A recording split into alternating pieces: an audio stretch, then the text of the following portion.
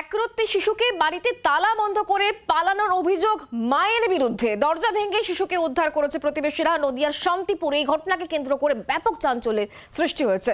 পুলিশের সাহায্যে জেলা চাইল্ড লাইনের হাতে ওই শিশুকে তুলে দেওয়া হয়। কন্যা সন্তান হওয়ার জন্য এমন কাজ বলে প্রাথমিকভাবে অনুমান করা হচ্ছে বলে খবর পাওয়া যাচ্ছে। ঘটনার পর নদিয়ার শান্তিপুরে চাঞ্চল্যের সৃষ্টি হয়েছে।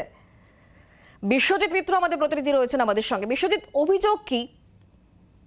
শুক্লা ঘটনা হচ্ছে, যেখানকার ঘটনা, সেটা একটি যৌন পল্লীর ঘটনা। গত কালকে তার একদম সদ্যজাত কন্যা, তাকে আজকে তালাবন্ধ করে রেখে তার তিনি বে- বেপাত্তা হয়ে যান। তারপরে যারা প্রতিবেশী আছেন, সেই সব প্রতিবেশীরা তার কান্নার আওয়াজ শুনে রাত্রির ঠিক আড়াইটা নাগাদ তার সেই দরজা ভেঙে সেই শিশুটিকে উদ্ধার করে এবং নদিয়ার যে চাইল্ড লাইন আছে, সেই চাইল্ড লাইনের তরফ থেকে তাকে নিয়ে গিয়ে শান্তিপুর জেনারেল হাসপাতালে নিয়ে যাওয়া হয় এবং তারপরে তিনি প্রাথমিক শিশুটির প্রাথমিক চিকিৎসা করা হয় এবং শিশুটি যাতে এখন এই মুহূর্তে সুস্থ আছে বলে খবর।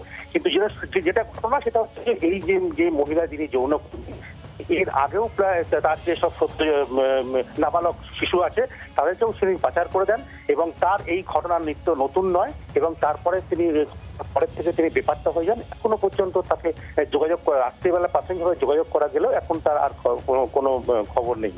শুক্লা। ধন্যবাদ বিশ্বজিৎ।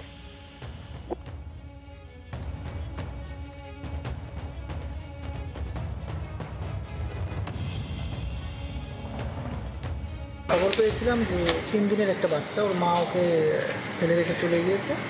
তো ওই বাচ্চাটাকেই আমরা শান্তিপুর থানার মাধ্যমে উদ্ধার করে এখন সিডাব্লিউসির কথা মতো বা সিডাব্লিউসির অর্ডার অনুযায়ী আমরা হোমে রাখতে যাচ্ছি বাচ্চাকে। বাচ্চাটাকে আমরা সাড়ে আটটার সময় দেখা হয়েছে।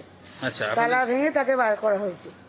তালা ভেঙে বার করার পরে তাকে দেখি ওই অবস্থায় কোনায় বা- খাটের কোনায় ফেলানো রাখা। তাকে খাটের কোনায় ফেলানোর থেকে আমি তুলেছিলাম। আমি তুলে হসপিটালে নিয়ে এসেছি। হসপিটালে নিয়ে আসার পরে বাচ্চাটার ট্রিটমেন্ট চালু হয়, বাচ্চাটাকে পরিষ্কার করেছি